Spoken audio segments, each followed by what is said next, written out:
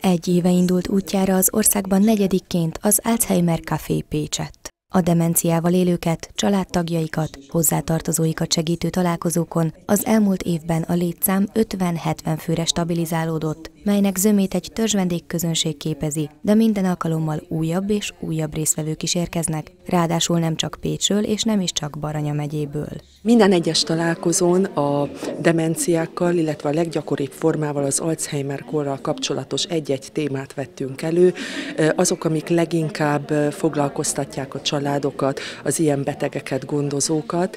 Mindig hívtunk egy-egy meghívott előadót a témákhoz, és igyekeztünk nem csak szakmai téren, hanem érzelmileg is, mentálisan is segíteni, feltölteni ezeket a családokat és hozzátartozókat. Ma is egy izgalmas előadás elé nézzünk, egy ö, olyan címet viselő előadást ö, hívtunk ide Gáti Ágnes tanárnő segítségével, aminek az a címe, hogy lehetőségek és csapdák az időskorban.